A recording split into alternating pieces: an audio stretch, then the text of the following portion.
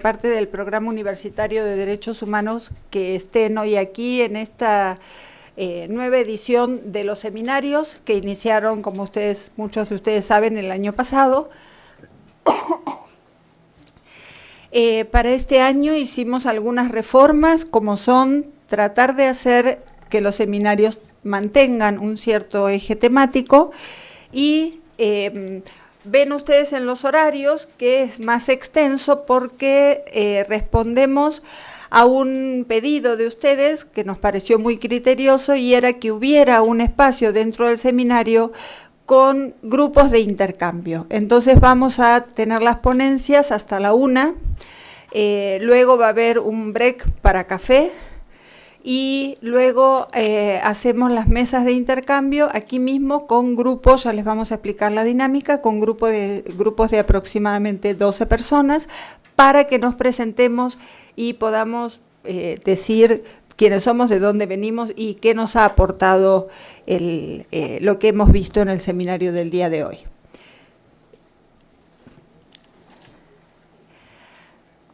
Yo hice una muy breve presentación introductoria a los temas que vamos a ver porque me interesa que podamos eh, enmarcar el acceso a la tecnología, a tecnología de acceso a cultura, a vida independiente, a espacios cotidianos, a espacios urbanos, que es el eje que vamos a ver hoy las distintas ponencias y que ese eje lo podamos eh, alinear con la convención, con el derecho de las personas con discapacidad a tener eh, acceso a tecnología, acceso a bienes y servicios culturales adaptados en función de las necesidades que cada grupo tenga.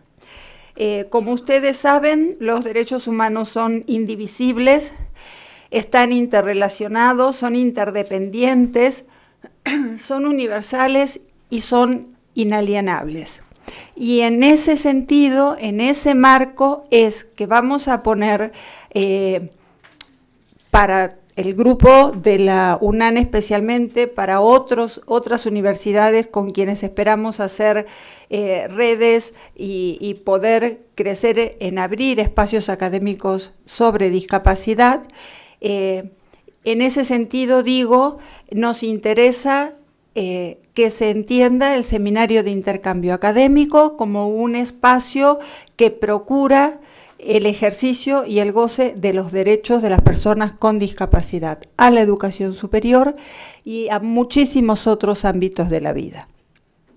Eh, vamos a iniciar las presentaciones de hoy y es un gusto enorme presentar al doctor Jorge Eduardo Sarur Cortés, quien viene de la Universidad Autónoma del Estado de México, de Zumpango, y nos va a presentar su investigación y su trabajo sobre arte pictórico accesible para la discapacidad visual.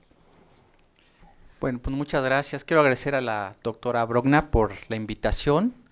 Y efectivamente en, los posgrados de tanto de maestría como de, doctorado me he estado dedicando a la, a la elaboración de este tipo de materiales ápticos para las personas con discapacidad visual. Eh, bueno, como antecedente, pues eh, comentarles que este, yo soy artista plástico, diseñador gráfico y mm, a partir de ello, pues me interesó el, tema de cómo llevar eh, las cuestiones visuales, que es el diseño gráfico y el, y el, arte pictórico en particular, a las personas que no pueden ver. Entonces, de ahí surge eh, esta propuesta, este proyecto de investigación que se desarrolla, les comento, en, estos posgrados y se viene este, trabajando en la actualidad. Eh, bueno, con el Comité Internacional Prosiegos, con eh, la Escuela Ignacio Trigueros, ahí en, en, el Centro para Discapacidad Visual, y la Escuela para Niños Ciegos que se encuentra en Coyoacán, que son como los tres centros de trabajo con los que he estado este, laborando y, que nos han estado apoyando afortunadamente con, toda la gente que está estudiando en estos lugares. Entonces eh, les voy a hacer la presentación, una, una, breve presentación del proyecto y bueno, posteriormente pues podemos comentarlo.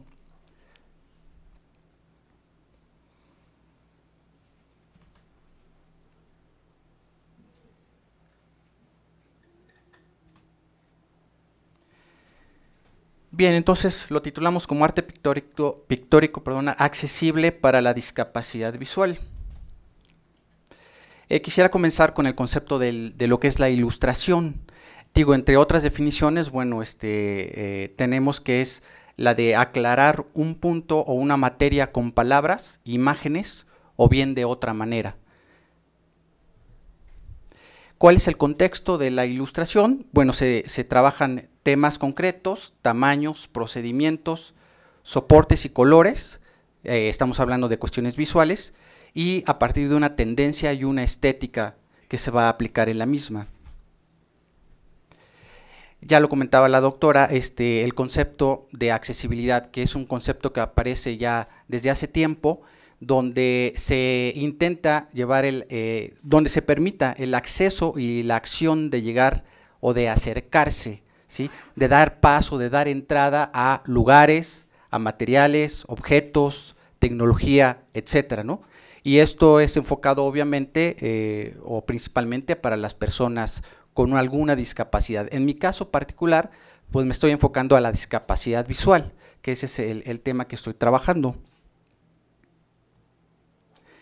Bien, igualmente pues es necesario hacer eh, uso o apoyarse en una serie de normatividades o reglamentaciones que van a fundamentar toda esta propuesta o este desarrollo de materiales, entre ellos pues las normas uniformes de igualdad para las oportunidades de las personas con discapacidad.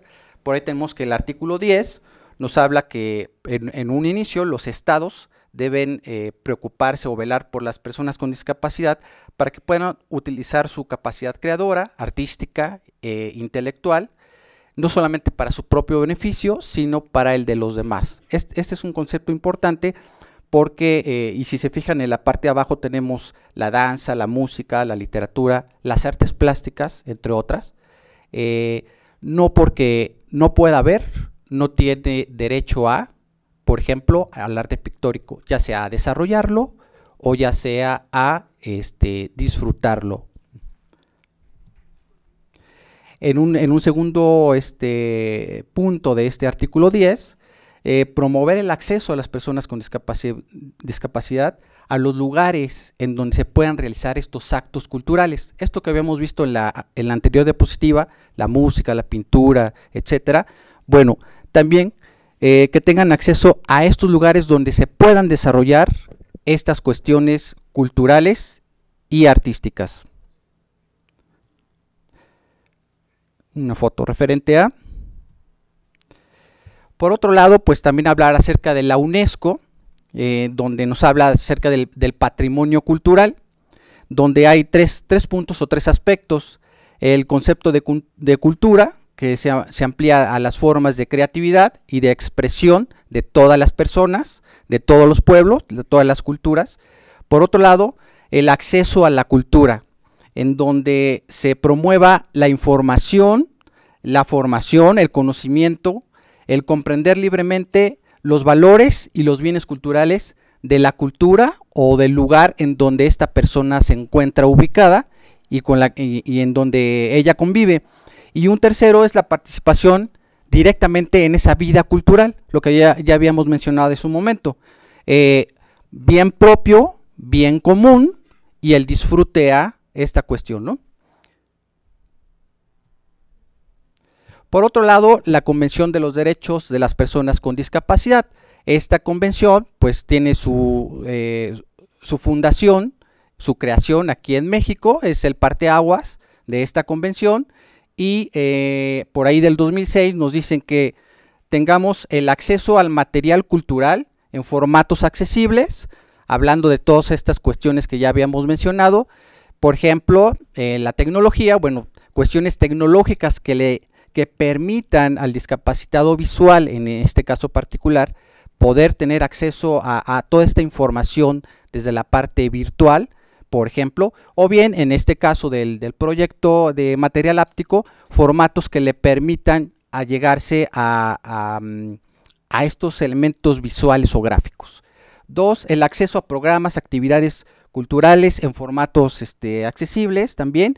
Y por, eh, tercer punto, el acceso a los lugares donde se lleven a cabo estas actividades. Por ahí estoy enmarcando o señalando importante los museos, ya que eh, la propuesta que desarrollo está en relación a, estos lugares en donde el arte pictórico es donde generalmente se muestra eh, para todas las personas, aunque no sea el único, obviamente, ¿verdad?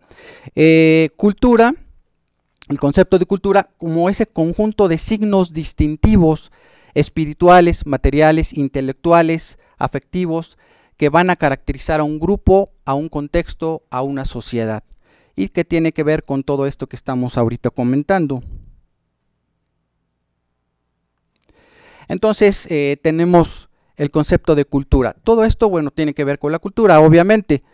Eh, por un lado los elementos de tipo material, por otro lado los elementos de tipo espiritual, que son las dos cuestiones que se van a considerar en la cultura, lo hecho por el ser humano, lo que siente y lo que piensa, y se van a englobar, se van a aterrizar, se van a observar en objetos artísticos tangibles e intangibles. Esto lo podremos considerar como la cultura del arte. Asimismo, entonces, debemos tomar en cuenta el derecho al ocio.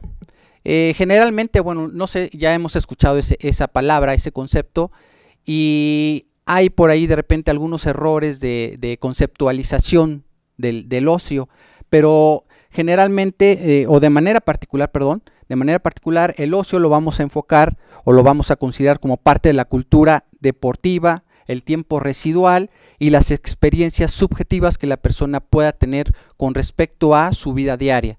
Es decir, eh, para entenderlo rápidamente, el ocio eh, está dividido en dos cuestiones. Si no estoy trabajando, si no estoy laborando, tengo tiempo libre y por lo tanto puedo utilizar ese tiempo libre para realizar algún tipo de actividad, por ejemplo, deportiva o cultural o de recreación. Eso sería eh, a grandes rasgos el, concepto del ocio, entre ellas las artes. Y, estas artes, como ya lo habíamos mencionado anteriormente, van a, poder aterrizarse, por ejemplo, en eh, el arte pictórico.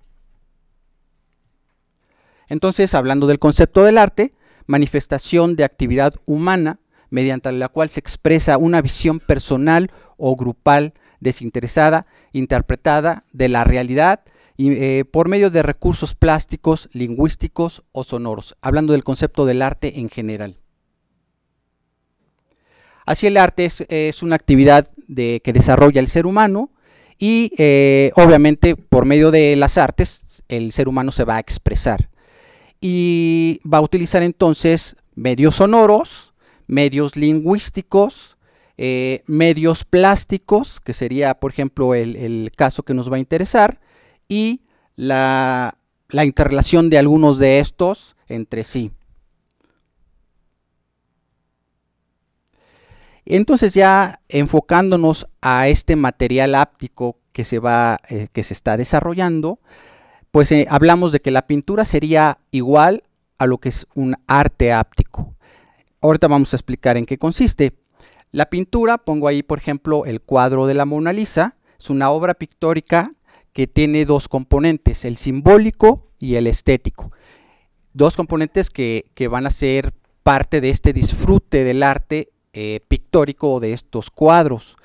Mayormente están eh, guardados eh, este, expuestos en los museos, en donde se va a dar este, ese conocimiento de las obras pictóricas de carácter visual, es decir, para las personas normovisuales por lo general. Sin embargo, se pueden desarrollar propuestas para que exista un acceso, una accesibilidad a este tipo de cuadros, cuadros que son de carácter visual, que por un lado no se pueden tocar porque son cuadros antiguos, y por el otro, aunque se pudieran tocar, pues no tiene caso para, hablando de una persona este, con discapacidad visual, dado que es un, elemento bidimensional, solamente van a tocar ciertas texturas que dejan los pinceles o la pintura aplicada sobre, sobre cierto soporte o cierto material. Entonces surgen los museos tiflológicos. El concepto tiflológico quiere decir que todo lo que está dentro de ese museo es para poder tocarse. Ese es eh, básicamente eh, el, significado de tiflología. Digo, entre eh, como parte de un proyecto de investigación, pues obviamente tenemos que sustentar el proyecto en, en una gran variedad de autores, investigadores que han realizado este, propuestas relacionadas con la que nosotros estamos planteando. Entre ellas, quisiera nombrar a Klasky y Lederman, que en el 87, eh, eh, ellas dos, eh, dicen que con el tacto o a través del tacto se, pueden se puede extraer información importante de los materiales que se están tocando. Y, aquí, bueno, este, podemos hablar de que es una persona con discapacidad visual o una persona normovisual. El tacto finalmente nos va a ayudar a extraer esta información a través de la, de la sustancia de la materia o el material, la temperatura, dureza, textura y peso del material. Y por el otro lado, las relacionadas con eh, el peso, la forma global del objeto, la forma específica del objeto eh, y su tamaño. Son, son, características o elementos importantes que, que, van a ayudar, en este caso a las personas con discapacidad visual, a extraer o, o este, u obtener perdón, información eh, de este, objeto que se está tocando a través del el movimiento de las manos. El arte áptico o el concepto de áptico quiere decir extraer información a través del tacto en movimiento. Eso es la parte importante. Bueno, ahorita eh, eh, a partir de esta diapositiva vienen una serie de, fotos, de imágenes de obra que se trabajó en una primera parte como eh, propuesta de material áptico o tridimensional para las personas con discapacidad visual. Fíjense que en esta parte, este, es decir, en este tipo de materiales, si se dan cuenta, son reproducciones eh, lo más fieles posibles al cuadro original. Sin embargo, eh, están trabajadas con relieves y con texturas. Asimismo, se les aplica color para igualar al cuadro original. Eh, todo esto funciona muy bien, pero aquí la cuestión es que son cuadros que se trabajan desde la parte visual, es decir, desde los que podemos ver. Esa es, una, primera reflexión, ¿no? ¿Son tan funcionales o no trabajar este tipo de materiales ápticos desde lo visual? Es, pregunta. Eh, sin embargo, eh, estos cuadros, como podemos ver ahí, em, se pusieron pues a prueba, se, trabajaron eh, con diferentes materiales, interactuaron algunas personas con discapacidad visual tocando la obra y efectivamente funcionó muy bien. Tan es así que le comentaba a la doctora, este, actualmente es este tipo de, propuesta de cuadros tridimensionales eh, se encuentran en diferentes museos en la Ciudad de México, Monterrey, Guadalajara, eh, Toluca, con acervo pictórico específico para la discapacidad visual. El anterior está en, eh, este se encuentra en el marco de Monterrey este está por aquí en Toluca, en el Bellas Artes. Museo José Luz Cuevas. Museo San Carlos, aquí en México. Museo del Virreinato de la Secretaría de Hacienda, aquí en México. Obra personal. Este fue un cuadro para una bienal, pero fue especialmente hecho para discapacidad visual. Casualmente, pues se quedó por ahí en una iglesia. Este es eh, de la Sala de Arte Público Siqueiros, en Polanco. En el Hospicio Cabañas de Guadalajara. En el Museo del Virreinato en Tepoztlán. Obra personal. Igualmente. Y elementos tridimensionales. Les comentaba en un inicio que soy, bueno, también me dedico a las artes plásticas y pues me, interesa el modelado, la escultura, la pintura, el dibujo, este, como diseñador gráfico.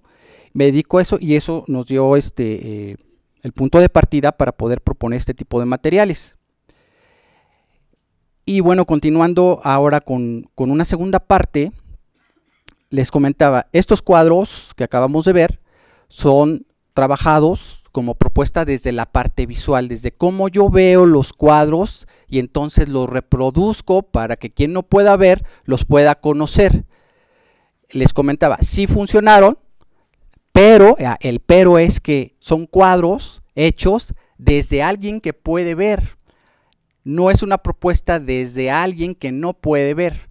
Entonces, eh, surge en, España, en Europa, principalmente en España porque está la ONCE, la Organización Nacional de Ciegos Españoles, que es, si no la más importante a nivel mundial, si una de las más importantes, eh, y están haciendo mucha investigación para la discapacidad visual.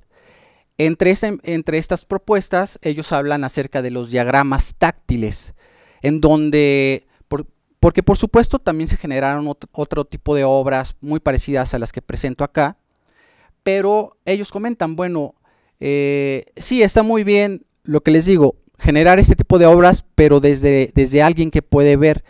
Vamos a hablar ahora de propuestas generadas desde personas que carecen de la vista. Y entonces la investigación ya en el doctorado surge desde esta parte los diagramas táctiles. Ellos presentan una propuesta y ahorita la vamos a ver.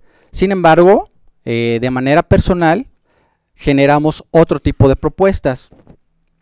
Los diagramas táctiles son ilustraciones táctiles trabajadas para el arte con ciertos relieves para representar imágenes.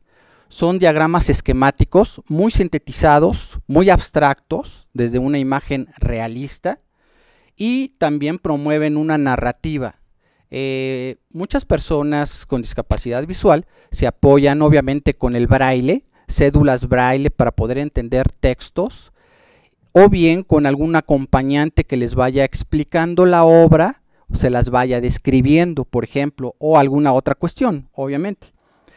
Eh, y, estos diagramas táctiles se fundamentan en patrones de líneas y de puntos de tal manera que si ustedes se fijan en la parte de abajo, nos dan un patrón sólido áspero, patrón de punto, secundario, de línea horizontal, de línea vertical, sólidamente lleno y patrón de armadura de cesta. Son esa es una propuesta española que la, la ONCE genera. Y aquí tenemos un ejemplo.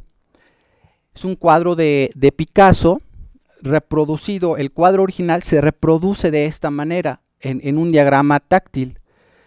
Eh, y, observen cómo los diferentes elementos, las diferentes figuras del cuadro están representadas de distinta manera, es decir, con diferentes patrones de puntos o de líneas.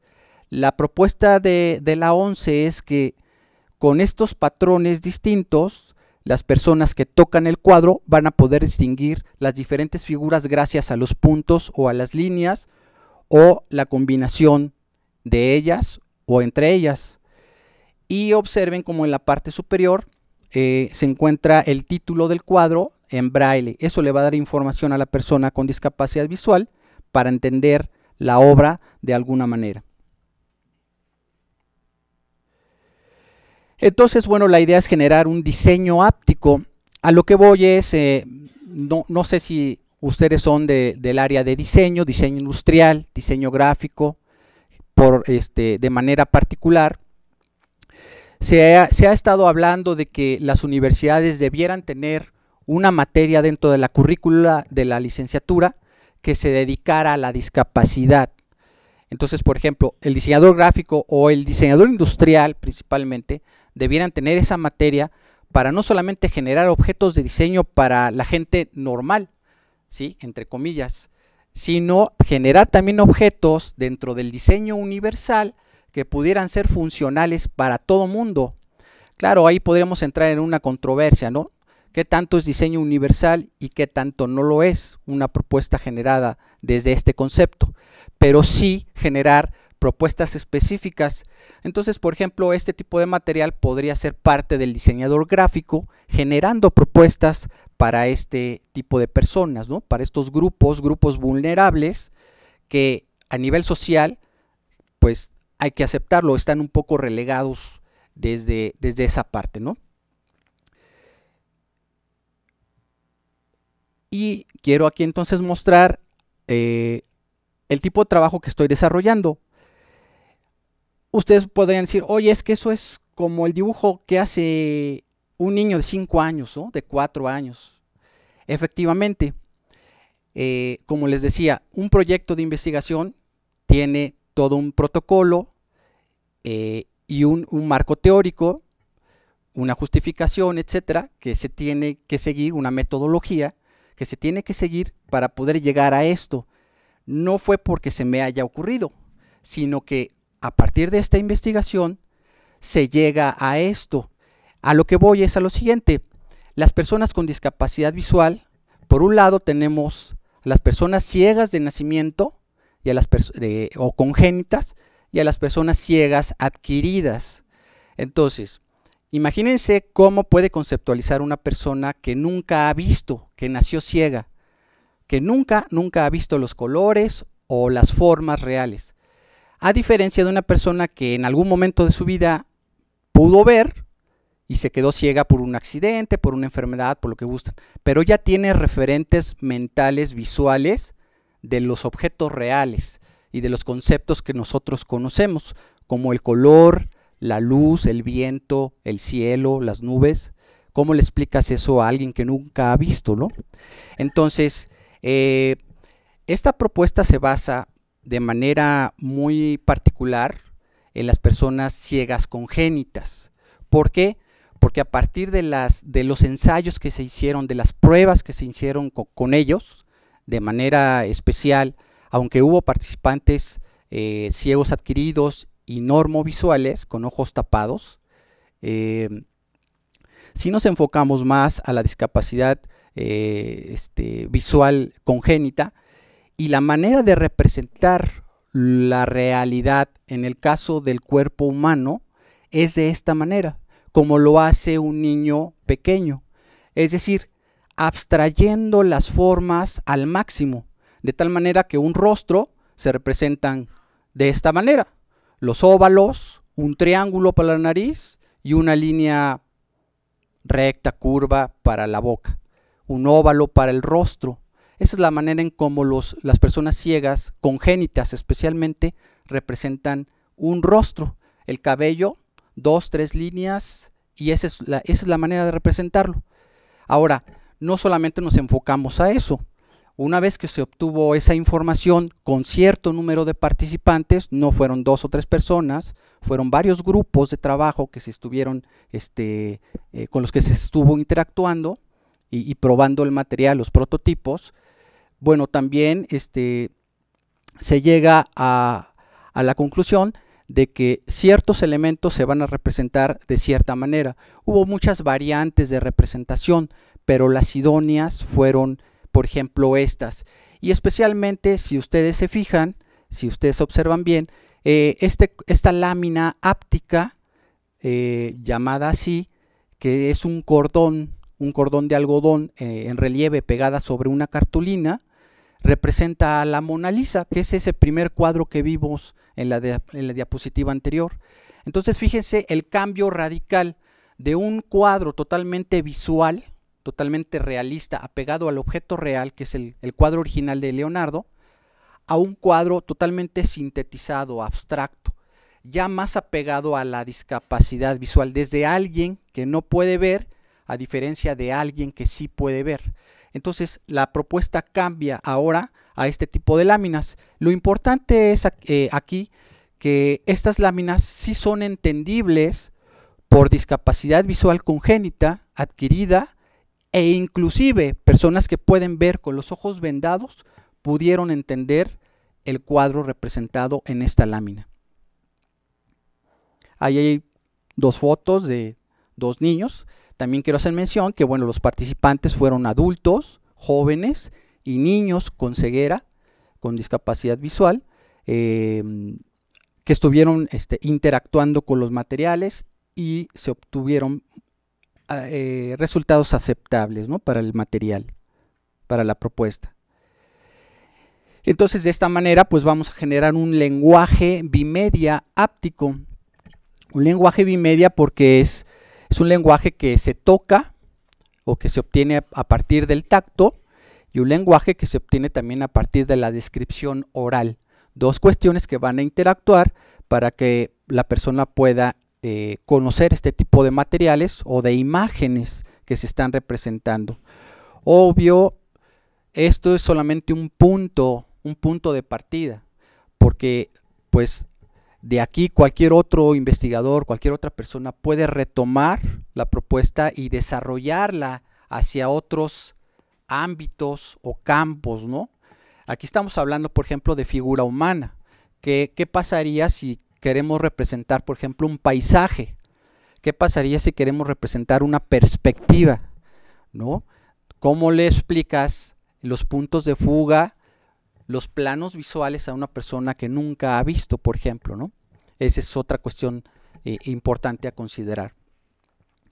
Y se tomaron dos elementos muy importantes. El tipo de usuario, niños, este, jóvenes, adultos, edad, características eh, y el nivel cultural, los conocimientos que esta persona pudiera tener.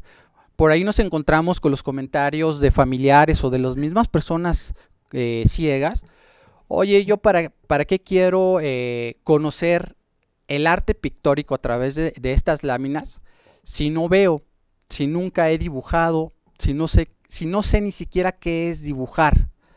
Bueno, entonces hubo primero que enseñarle qué era dibujar, que tomara un lápiz, que pintara, eh, tuvimos que abrir unos talleres artísticos de dibujo y de pintura para, para estos grupos de trabajo y después interactuar con, con, los materiales, por un primer lado y por el otro gente que nunca ha trabajado de esta manera que interactuara con el material. Entonces, igual, y de igual manera, perdón, a la, familia, no, pues, ¿para, ¿para qué le interesa la, pintura si no ve? Mejor lo tenemos en casa, guardado, lo llevamos a hacer otras cosas, pero lo que es arte, pintura, dibujo, queda excluido. Eh, una experiencia interesante es que eh, inclusive en estos talleres que les comento de dibujo y pintura para personas ciegas, hubo gente que, representó tan de manera tan interesante sus, proyectos, sus láminas, que se dieron cuenta y nos dimos cuenta, los que estábamos ahí eh, eh, dirigiendo el taller, que esa persona tenía habilidades para el dibujo y la pintura. Obviamente su ceguera no le permitía desarrollar esa habilidad, pero los trazos, la aplicación del color, sintiendo el material, nos dejaba ver que efectivamente tenía habilidad para el dibujo y ni siquiera él lo sabía ni le interesaba a la familia. Entonces, esto lo acercó al arte, al arte pictórico y a la representación gráfica por medio de estos materiales. Entonces, estos dos aspectos, el, A y el B, también son importantes de considerar para generar cierto tipo de material. Y pues concluyo con esta parte. Yo les agradezco. Es un, resumen muy rápido de, lo que se está, ha estado trabajando. Y pues ya nada más citar las fuentes. Y muchísimas gracias por su atención.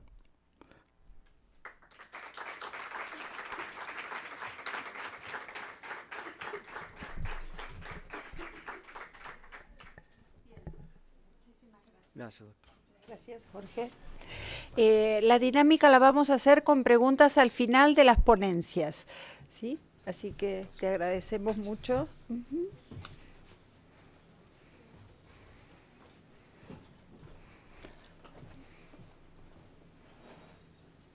¿Alguien me puede prestar un programita que lo llevé y no sé para dónde lo dejé?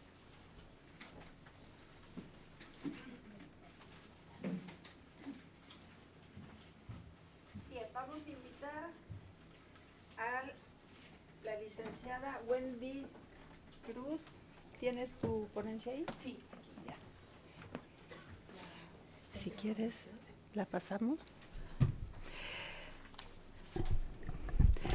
Wendy Cruz Fabián está realizando el posgrado en diseño industrial en la UNAM y su presentación va a ser sobre el desarrollo de una ayuda mecánica para el cuidador primario de una persona con discapacidad motriz.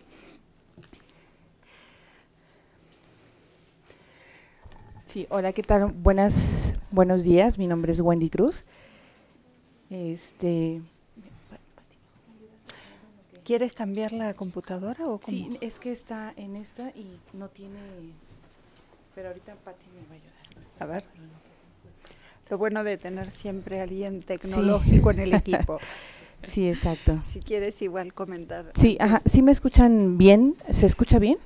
Siento yo que no se escucha. ¿Se escucha bajito o me parece a mí que estoy un poco sorda? ¿Se escucha bajo? Sí, escuchan bien. Ah, ok, ya, creo que ya ahí se escuchó mejor.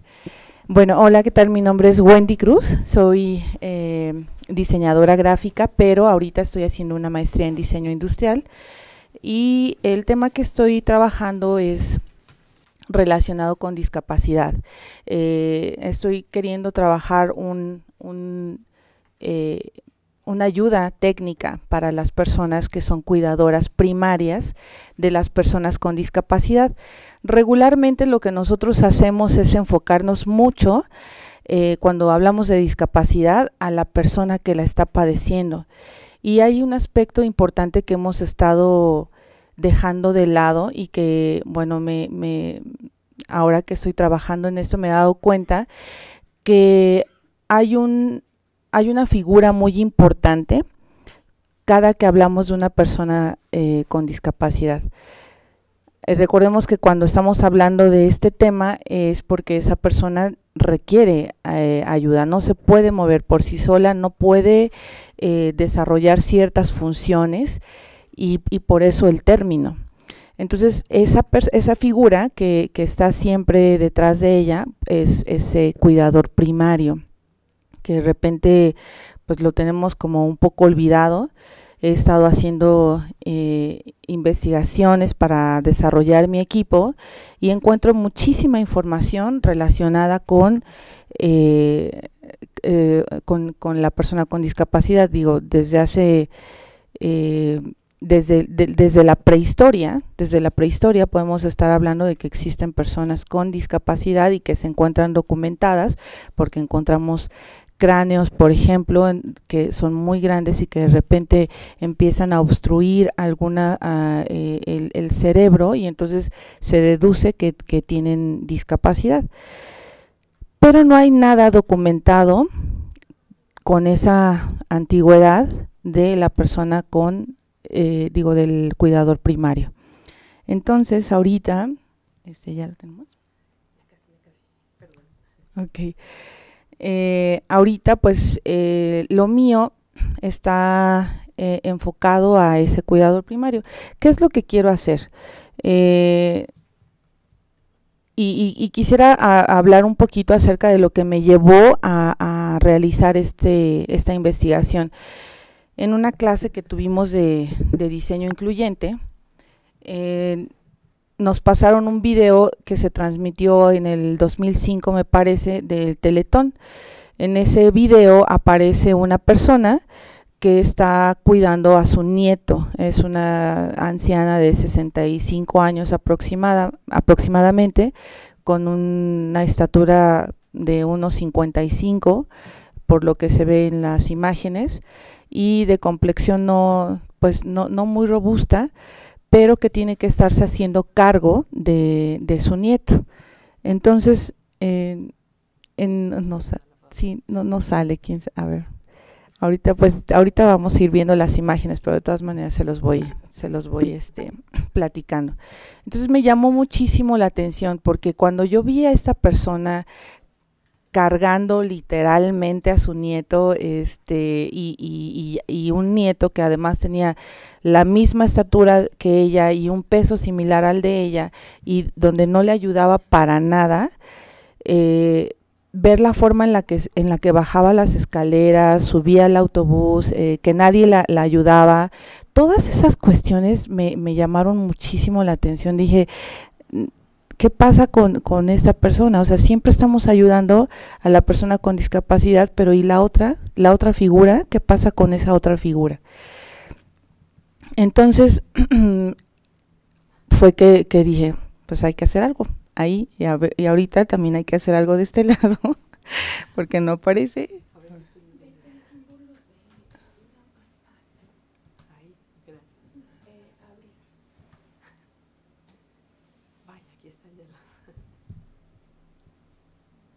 el disco extraíble. Ah, ok. Parece que es el PowerPoint, ¿no? Sí, PowerPoint. No está. Pues tiene un chorro de carpetas, pero no está leyendo.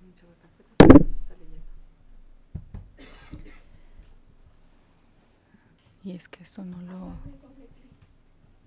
Sí, no. Todas las presentaciones, ¿no? Perdón, sí, son detalles técnicos ahorita. Espero que salga esto ya.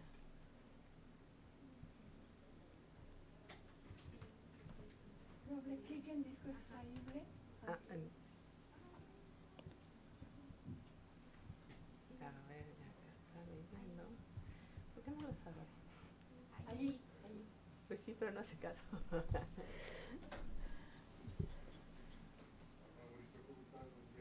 No hay otra. Este. mm, ¿Me prestan otro? Ahí está.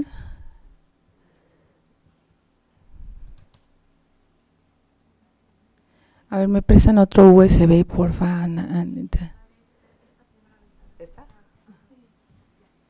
Ah, ya apareció.